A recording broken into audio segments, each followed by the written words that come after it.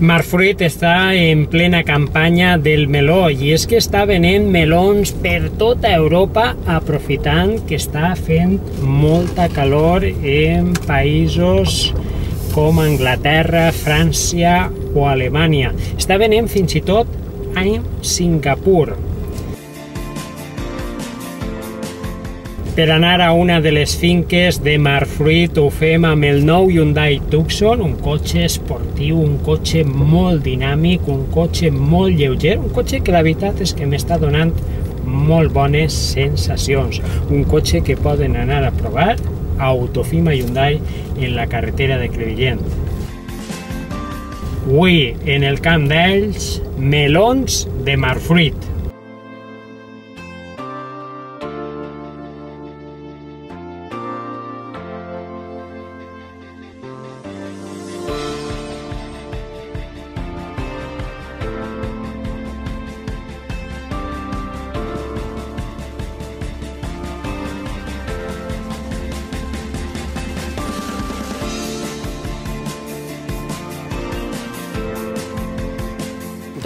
Dona, gust veure esta finca, eh? Esta finca de com estava a com està ara.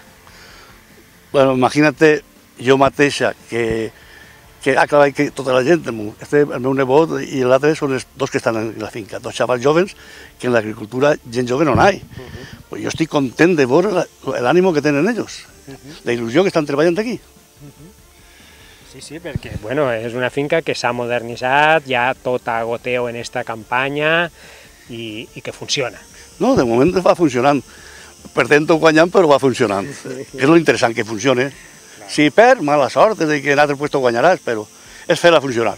Que passen els veïns i diuen, che, en la finca esta, en la vida l'han vist així com està ara. Sempre prenar de brossa, sempre abandonar, i ara, pues, dona gust veure Dona gust veure Bueno, Marfruit, quan ha començat Marfruit a, a treballar? Perquè tu eres el fundador de Marfruit. Però, claro, eh, en un altre nom a començar? Jo vaig començar a treballar en el 69-70, uh -huh. en un socio. Luego ya eh, me estigué 8 o 10 anys jo soles. I luego ja vaig fundar, fundarem una CB, una comunitat de béns. Fruta i hortalisses marroquí, que és un pare d'Enrique, de, Francisco, tu no el coneixes, un germà d'Eduardo, i jo. I luego ja farem una SL, i, que era, era fruta i hortalisses marroquí. Per el nom comercial parece que no, no cuadraba. Uh -huh. Es que te preguntaron mejor en Francia, pero vosotros que prevenís de, de Marruecos... Sí, no sé exactament, exactament. Bueno, i al final feren frut, eh, marfruit, que és el mateix. Sí, sí. Marfruit és al revés. En vez de ser frutes és marroquí frutas, claro, marfruit. Claro, claro. És més comercial, ese nom. Sí, sí, sí. sí. Ese nom és més comercial. Però ja llevem un xorro d'anys, és dir que era jo soltero, fíjate, i llevia 49 casat. Sí, sí, sí. I bueno, i ara comença, eh, quan tu començares a vendre els primers camionets, a on enviaves tu, el gènere? El, la primera era mercancia era pa placeros. Uh -huh. Era pa, pa Barcelona, pa Tarragona, pa La Manxa, també, perquè han treballat molt la tomata d'estiu, la mutxamelera pa La Manxa. Però el problema més tot és que la primera setmana que compro jo mercancia, que eren 50.000 pessetes. I bueno, em vaig sacar 40.000 perquè jo crec que tots no vendran. Jo estava pagant allí, però entonces pagàvem els diumenges. I a més hi tots a, a, cobrar i no, me falten diners, si és que llevaves 40.000 pesos, entonces no havia ni talons ni res. Sort que, ah, pues, si m'han sobrat 10.000 o 15.000 pessetes, i així no hi ha confiança que a la volta pues, no fes cas. Però els primers anys, patir, patir, que entonces se patia més, el sistema de comprar era més difícil, el, perquè sí, perquè entonces havia un bancal de melons, de, de, de 2.000 quilos, altre bancal de 10.000 quilos. Per fer 20.000 quilos de melons te tiraves un dia o dos buscant melons. I ara per carregar 100.000 quilos, 200.000 quilos, en un dia es carregues. Lo de canviar, Ha canviat molt. Oh, moltíssim. El treball, claro, si no haguera tanta maquinària no podria fer 3 quilos tampoc. Aquí fa 50 anys, aquí diu un tio de fer 100.000 quilos, 150.000 quilos de melons tots els dies. Diuen, això no se pot fer. I ara es fas... I també se, se sacaven en la carretilla o en un sac. Bueno, en sacs, en estives. Claro, fes un montonet en, en, en el bancal i luego veníem a replegar-lo. I ara no, ara tens els camions, els trastorns al costat, carregant i per l'almacén. I està molt fàcil. Bueno, I en relacions comercials en els clients tot ho fes per telèfon, com Sí, primer, primer, a més, primer no havien, és que primer de tot no havia mòbils, eh? Parlaves per el matí, allò, allí anaven a un bar, que havia un, bar, un telèfon i allí parlàvem. I a poquet a En, en la Marina, en un bar. No, nosaltres compràvem un guardamar. Sí. Nosaltres anàvem a comprar un guardamar. Per cert que havia un, és dir, que la Marina i el guardamar, nosaltres ens diem molarencos. I jo, jo un home que és molt bona persona, em deia, sí, molarenco, què preu lleves Gran Canàries avui? la costum, a què preu lleves Gran Canàries? Que no és el catxó, que és Gran Canàries. Pues aquestes anècdotes te sequen molt, molt, molt, molt. Entonces per telèfon, allí hi havia un telèfon. Sí, no, ja pues, demanar un client esto, l'altre, l'altre, i ja després ja tu de càlcul. Bueno, pues avui vaig a fer 10.000 quilos si, si es troba a este i este i este. A millor teneixin més o teneixin menys. Si teneixin molt, te sobraven, pues m'anaves tot pel teu compte a Madrid o a Barcelona. Sí. Avui ja és diferent, avui no. Avui treballem el 90% per supermercats. Plataformes, eh? No, no és que nosaltres som eh, en el supermercat, alguns coneixem només que de, de Manali. Són plataformes. Plataformes que subministren al supermercat. Claro, nosaltres li treballem directament a Eroski, un supermercat o dos. Al dia tampoc, al dia, però també, bueno, al dia també li treballem quasi directament, però els altres no. Nosaltres treballem per Inglaterra, per dos o tres, i coneixem a, a la plataforma.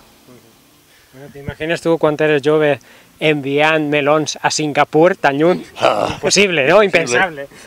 Pues en això és el que te lleva avui, el que te lleva avui a tindre il·lusió, de veure que l'empresa no ha anat per darrere, va avant, pa avant, pa avant. Y luego, a chiquillos estos, tienlos por aquí, con la edad de ellos, eh, tienen ganas todos los días de darse de festa, pues también son notas.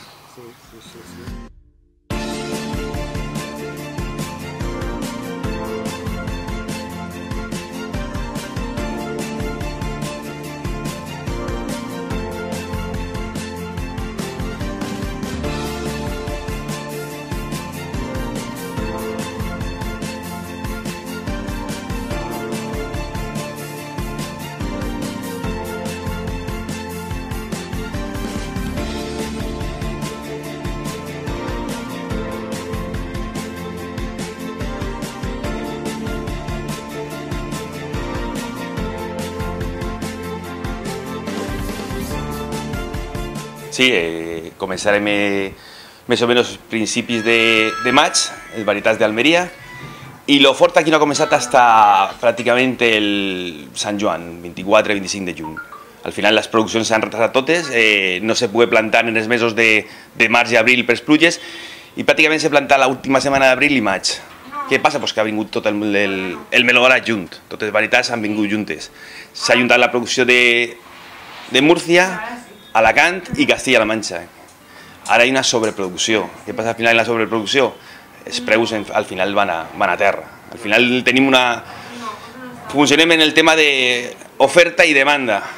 Cuando hay, hay molta oferta, al final els preus van a terra. De moment la demanda és bona perquè hi ha bones temperatures en Europa. En Europa eh, tenim tem- temperatures que no s'han conegut mai, temperatures en Anglaterra de, de 40 graus, Alemanya 40 graus, això no ho coneixen eh, i pràcticament la gent està allí que, que no és ni de la casa per el, per el calor que tenen. Sí, efectivament, la, la ola de calor incrementa la demanda de meló d'estes frutes més, més per combatir les altes temperatures. Sí, si no tenim eh, bones temperatures i calor, eh, la demanda en meló i sandia baixa pràcticament un 50-60%. No apeteix al final, és com menjar-te un gelat en nal, no apeteix. Pues en la fruita passa el mateix. Eh, El país que ten, si no tenim calor, no tenim l'ànsia de menjar aquesta fruta i és el que ens passa en Europa. En Europa la mentalitat que tenen és. Si no fa calor no se consumeixen les i verd- els frutes de- d'estiu. Què varietats de meló se destinen a Europa, al mercat europeu?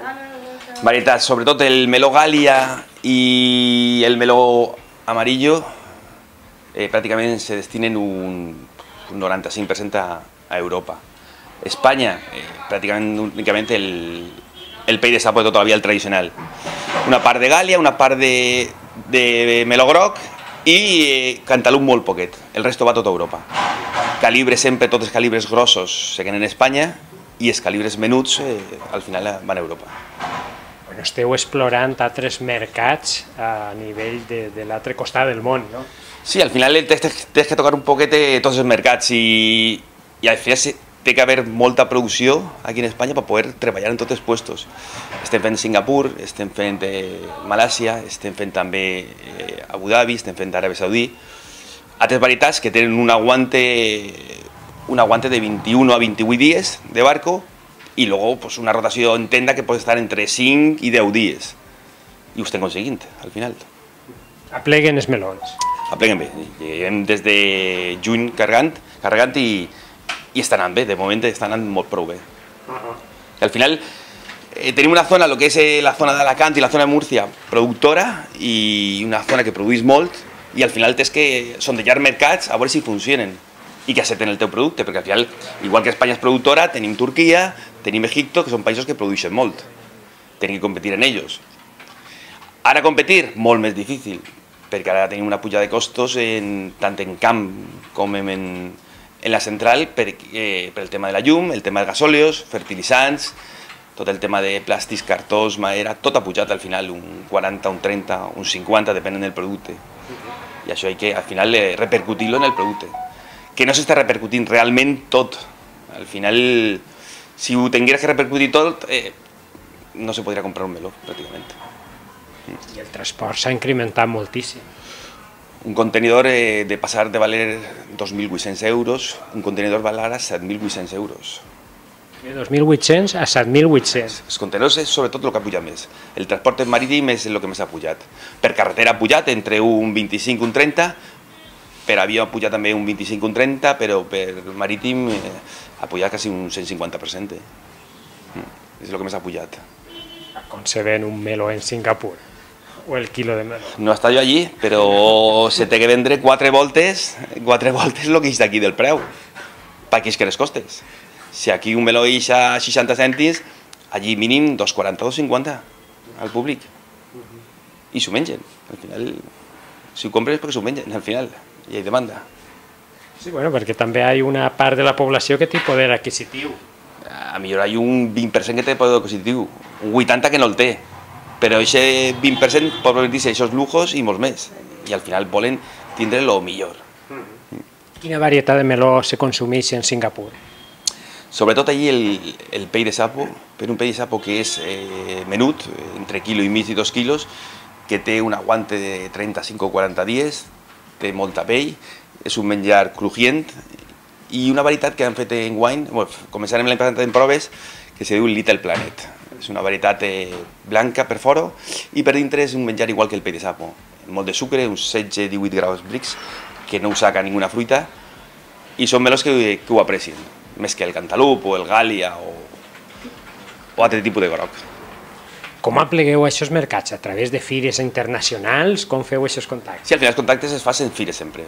Ve en Berlín, ve en Madrid, i al final tu exposes el que tens i la gent pues, ja tens les primeres reunions i a partir d'ahir vas treballant-ho sempre un any abans. Un any abans vas preguntant què calibres voldrien, quines formes de treballar tenen, què varietats les agrada més i, vas treballant tot durant un any, fins que arriba la fecha de, de començar a, a carregar.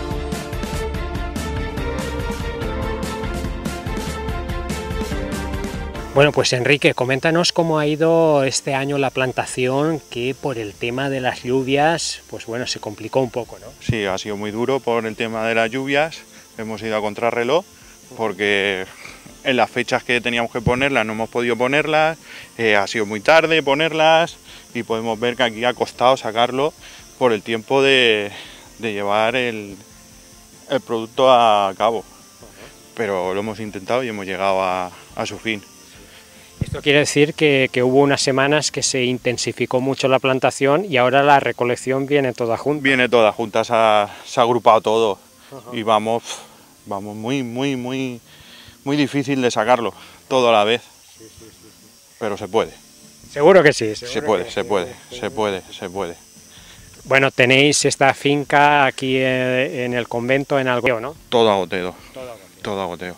El riego tradicional, no lo hemos quitado este año. El año pasado teníamos aquí 12 hectáreas de riego tradicional y este año ya es todo a riego a goteo. Cambia mucho del tradicional riego tradicional a goteo, con el goteo lo llevas todo mucho más controlado. Más equilibrado, más controlado, eh, ahorras un poco más de agua, es todo se lleva mejor. Bueno, y lógicamente en campo vosotros os caracterizáis también porque todos los trabajos, o la mayoría lo hacéis mecanizado, con tractores y tal, que son de gran ayuda. Sí, se hace todo con tractores, y muy poquito a mano, pero se hace. Solo faltaría una máquina para recoger los melones, una cosechadora de melones. Sí, una cosa, exacto, Vicente. pero que no está inventada. No, todavía no está inventada, pero llegará, llegará. Llegará porque las naranjas, hay naranjas que sí que cogen con máquina. Claro, esperemos a ver si llega a la granás. esperemos que llegue a la granás. Sí. Bueno, Enrique, ¿tú de qué te encargas? Porque llevas, eh, vas controlando las fincas y que todo el trabajo pues vaya bien. ¿no? Sí, yo estoy encargado de personal y encargado de fincas también en Marfil. Vale, vale. Tema de Granada también lo tocas, ¿no? Tema de Granada también, y el brócoli también. Sí, porque al final Marfruit, como una empresa tan grande, pues al final necesita tener una estructura de mando, de dirección, de coordinación. Tiene que estar todo coordinado porque al final es, son muchos los trabajadores. Sí, claro, exacto. Muy bien. Bueno, entonces ahora en plena campaña de recolección. En plena campaña de recolección de melones estamos. Y variedades que, que, bueno que son nuevas también, ¿no? Sí, tenemos Little Planet, que es la que tenemos aquí enfrente, tenemos melón verde, que es la de toda la vida, tenemos melón amarillo, tenemos melón galia, tenemos muchas variedades abiertas. Y al final es un poco lo que va demandando el mercado y hay que adaptarse a ello, ¿no? Exacto.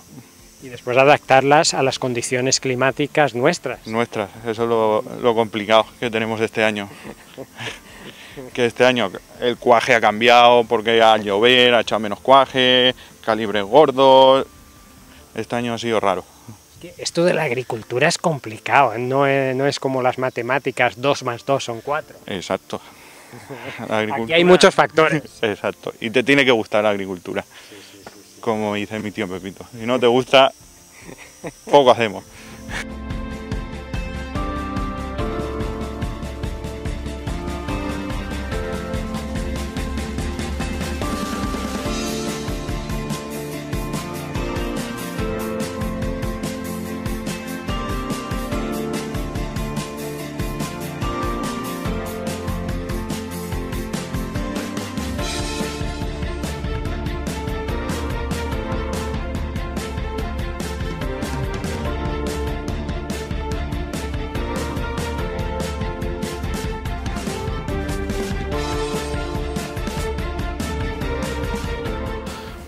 Guany anem a estar en torn als 18 milions de quilos, més o menys és la producció que calculem que se va fer en guany, entre el groc, eh, gàlia, cantalup, vell de sapo, va estar més o menys eh, al voltant d'això.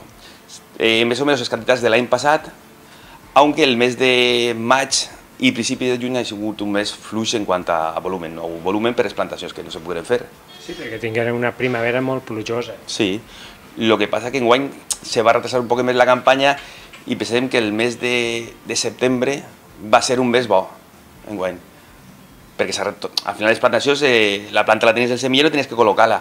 Què ha passat? Pues s'ha anat retrasant les plantacions i normalment acabàvem en el 8-10 de setembre i en guany estarem fins calcule 8-10 d'octubre en, en producció de meló. Distintes zones d'Espanya, però al final 5 mesos de meló. Pues se va a solapar el meló en la mangrana, ¿no? Sí, al final eh, mangrana començarà el 15-20 d'agost i al final es, estarà solapant els productes. Però a un, a un client, si tens que subministrar-li durant 5 mesos, no pots dir-li eh, en el tercer mes, mira, ha acabat la producció búscate la vida i busca el meló. No? Tenim que acabar en Espanya hasta que comencen ja els melons de, d'ultramar, que Brasil generalment comença a partir del 20-25 de, de setembre entrar els primers melons d'ultramar.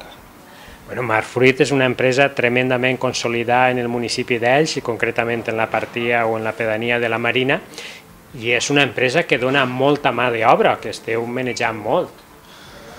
Sí, al final mà d'obra busquem eh, tindre, donar eh, treball al poble, a gent d'aquí de la Marina i gent de fora, perquè al final en la Marina falta gent. Eh, ara mateix en té camp i almacén haurà prop de 280 persones treballant. I, i la il·lusió és de que el projecte continua avant i lluitant, que és el que, el que, el que m'has ensenyat al final. Projecte familiar que, que el va començar ton pare. Sí, al final és una, és una empresa 100% familiar i pràcticament tots els òrgans directius són de, són de la família i, i amb molta il·lusió ho fem. Segur que sí, perquè bueno, ho lleveu ja des de xicotets. Sí, ho llevem, com aquí diu, en la sang. Eh, ho has vist des que eres, des que eres un nano, ho eres en ta casa treballant amb tus pares i ho tenies l'almacén baix i al final ho lleves en la sang. Bueno, Pepitos, varietats de melons també han canviat molt. Eh? Bueno, primer del tot, primer del tot havia uno que, que era el tendral negre, no sé si tu l'has... El tendral negre, que ese per aquí, ja no sé, l'últim se plantava en la Manxa, però ja pràcticament era per exportació. Luego el, el franceset s'ha perdut. Ara són tot híbrids, eh, que tindre clar que, que són híbrids, perquè si plantes de la semilla d'aquí no t'enteres. Pis mil quilos, dos mil quilos, ja no. I ese verd, ese pot donar a 4 o 5 mil quilos segur. 4 o 5 mil quilos per, La fulla, o per ta fulla. 45, 40, 45, 50 per, per hectàrea. Uh -huh. Enguany, dona, eh, enguany no, ara el híbrid dona més quilos que l'altre. Uh -huh. Estos són nous, han provat, i les falta algo. Ens hem atrasat en la plantació, algo, clar, tens que anar pillant el punt. En dos o tres actes li vas pillar el punt. Sí, perquè enguany la plantació també complicada, en tot el que plogué. Home, pilla un estrès, la planta, plantarem el, el 15 o el 16 de març. Normalment, eh, a final de mayo tenían que collir. No collirem el junio. ¿vale? Pilla un estrés la mata, de tanta aigua, tant fred, tant això, i que no anava. Sin embargo, ahora se mantiene. Es la més tendra, la, la que ja no li queden menors, la més tendra que hay. Para que veas las cosas. L'únic que s'ajunten també diverses... Sí, claro, si, si es que controlar es difícil. Imagínate que tendrán 3.000, entre els que plantem nosaltres, ens plantem més de 3.000 tafulles. Més de 100, són 300 hectàrees. Això que 3.000 només, claro. Si farem 12, 12, 12.000 quilos, 12 milions o 15, 12, alrededor de, de, de 5.000 o 505, 5.000 hectàrees. 5.000 no, 5.000 tafulles. 5.000 tafulles per ahí. Eh? I, I no solament en el camp d'ells.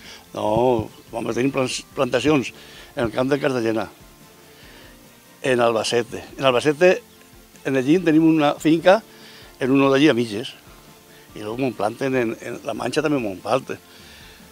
En Àguiles, perquè els primers que se cullen és en Àguiles i Massarrón. En Massarrón plantàrem una finca també de 200 fulles que tenia la planta que se perdia i no on plantar-la. O sigui, anava l'altre, el xiquillo, pillar, pillar un soci d'allí i arrendar una finca i a plantar-la. Són vales, per això són vales, eh? Sí, sí, perquè vosaltres al final aplegueu un acuerdo en el productor també i entonces feu ahí un contracte. Creem un, un acuerdo en, de servirles, supongamos, X, pero ellos, si no se venden, no, no te compren. Si, si no se venden, no se compran. Sin embargo, si falles tú, ya tienes un problema. Ya se busca una matre y después tú ya desapareces.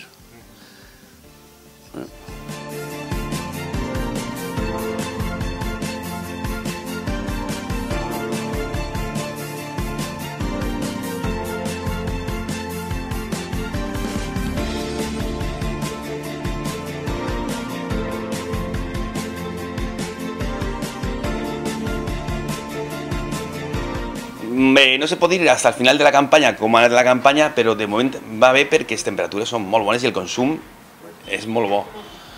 Al final de campanya sacarem números a veure si necessites números bé o, no, perquè clar, les pujades de gastos al final eh, ho té que, té que donar diners, rentabilitat per pa que el camp se pugui treballar.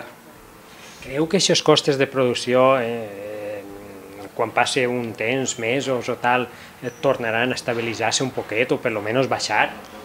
Jo espero que en, en un any o menys baixin els preus, perquè esto, al final és insostenible. Tu no pots muntar en 4 o 5 mesos els costes de producció un 40 o 50%. Esto és inassumible.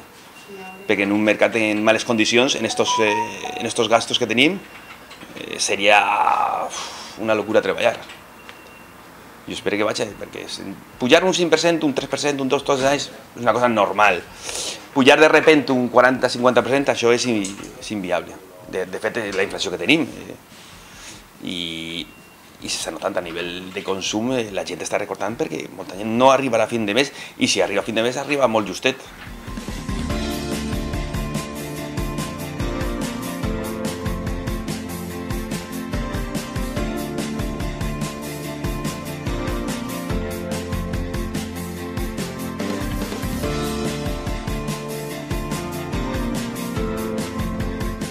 Pepito, la veritat és que eh, jo crec que molta satisfacció el que l'empresa hagi crescut, una empresa Sí, això, un forta, sí. molta satisfacció per tu. No? Claro. Si no, no estaria jo per aquí. Claro, Què faig jo aquí? Pues que, que m'agrada que vaya esto para avant. claro, vas a una finca, vas a l'altra, els veus treballar i tal, passes per la I, magatzem, i veig un fallo i... veus un i fallo i el dius, "Ostres, què, què vos ha passat ahí? Aquí, aquí en melons estos no fan melons. Lo que pasa que com ja me coneixen tant, Sí. ja puc pegar el puro, no me fan cas. Però mira el que t'he dit, Pepito, la, la, la experiència és un grado, no? Ellos, no, ellos sempre me van a tindre a mi com la persona que és ha llevat, Sí, que ha, ha fun- fundir l'empresa i, a més, jo sempre col·laborant, col·laborant. claro que sí. Sempre dic que anem a fer uns dos o tres socis, socis. anem a fer tots xiquillos socis, tots xiquillos, ja està. Qui- Quina edat tens tu, Pepito? 76, 76 anys, ja són anys. ja són anys. Lo que passa, lo altre lo pitjor, saps? Ja. És ahí, no, és ahí, no, a mi no m'acobarden. és veritat. No Claro, claro que sí. Bueno, però lo important és que tens ahí darrere tu un equip de gent i és Sí. una empresa familiar Sí, eh, si en no així- unió. Si no és així, no, no. Lo que passa és que nosaltres fem un protocolo familiar, eh? Que si no, no fem un protocolo familiar en el qual està en estatuts cada persona o cada estop té el que té que fer Sí. i estan obligats a... Tindre-ho tot ben organitzat. Sí, sí, sí. sí. Molt bé. Molt bé. I les accions no, fora de, de marroquí no poden passar. Les dones mateixes ja no, no tenen dret. És que, perquè no s'amplia molt, si no, Claro. al final són 40 o 50. Si no se dispersa molt. Claro. Molt bé, pues Pepito, moltes gràcies per atendre i, i enhorabona perquè, bueno, pues, has creat una empresa molt bona, una empresa que està en plena expansió. L'hem criat, eh? Jo, no, jo soles no, eh? Sí. De tots. Entre tots, entre tots. eh? Però tu eres el fundador, el que Bueno. tirava avant ahí, Eh, pues claro, el primer. el primer, perquè tu a començar sent agricultor, no? No, jo el primer comencí, jo vaig entrar, vaig estar 7 o 8 anys treballant a jornal en uno que tenia un almacén d'exportació. D'exportació no, entonces era d'aquí, de mercat interior. Sí. I entonces ahí ja t'ensenyares tu un poquet, no? Home, claro, jo anava, a, coneixia tots els agricultors, coneixia tots. Jo no- bé, bé, bé. Però que jo volia anar-me'n a Suïssa. Sí. Què te pareix? I quan s'entera el jefe diu, però per què te'n vas a Suïssa? Diu, però jo vull buscar altra cosa. Chiqui, no te vayas, perquè era castellà, era gallego, no te vayas y ahora cuando termino la campaña te quedas tú. Ya. Yo, bueno, ya lo pienso yo. Però dic que jo vinc, jo he treballat molt estona. Clar. He estat 7 o 8 anys i repartit, sí, jo feia de tot. De tot ha fet. El fer de tot és el que t'ha donat la base per muntar tu la teua empresa. Molt bé, doncs moltes gràcies, Pepito, i enhorabona.